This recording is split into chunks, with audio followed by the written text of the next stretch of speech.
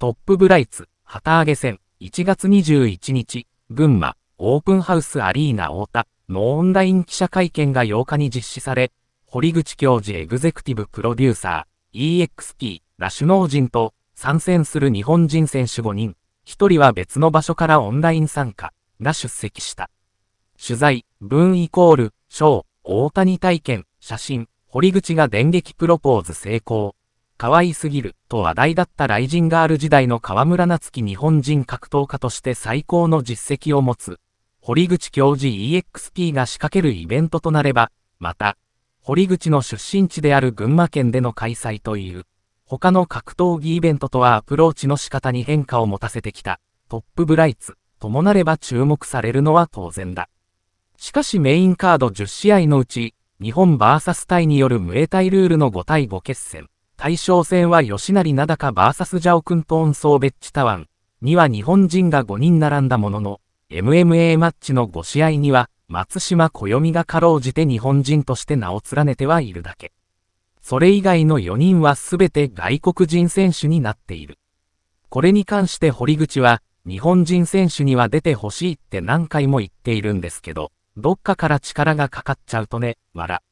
そこをちょっとクリアしてからって感じですね、と話していたが、今回が旗揚げ戦となるトップブライツには当然のことながらこれまでの実績がない。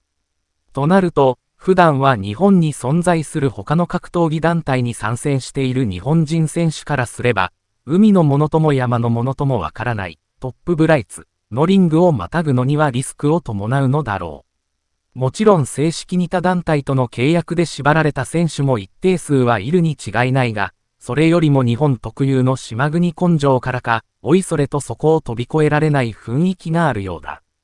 とはいえ、その足りない部分を補強してあまりある仕掛けが、トップブライツには存在する。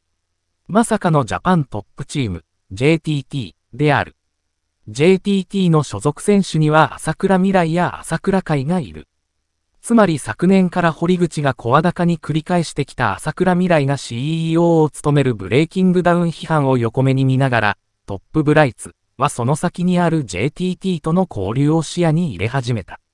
トップブライツの山田義則 CEO が話す。JTT との関係に関しては、未来選手はこの間、一部メディアで実現した堀口との対談で、お会いした時にトップブライツでどうですか？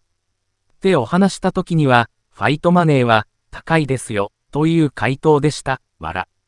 具体的なお金の話はしてないんですが、JTT、堀、鉄平 CEO、さんですかね、とは少しお話をさせていただいていまして、当然、堀口選手は ATT におられますので、JTT と ATT が戦うっていう構造は面白いのかなってこの間、お話しさせていただいております。トップブライツ、としてはグローバルにやっていこうと思っているので、これから少し年内に仕掛けられたらなって思っています。